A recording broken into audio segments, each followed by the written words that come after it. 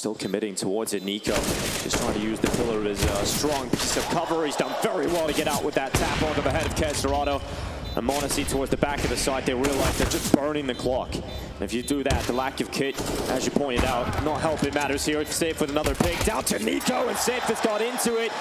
Searching over the side. Furia gonna bounce right back. And that's an important round for them to find. He's going to stick it, pull it all the way through. The 10 seconds never make it comfortable. And oh, so close. The defuse just about pulled through. I thought G2 was going to have it. I mean, in the end, it was a 2v1. And I think m0NESY just the slightest of mistakes there, you know, showing his shoulder really only. He should have just gotten head into the, the new box, right? And, and that would have bought enough time. But yeah, you can see the initial aggression. It was a good adjustment from G2, but in the end, just by the smallest of margins, Dinko Furia gets the defuse. Look at that. That is ridiculous. But that's what it means, you know.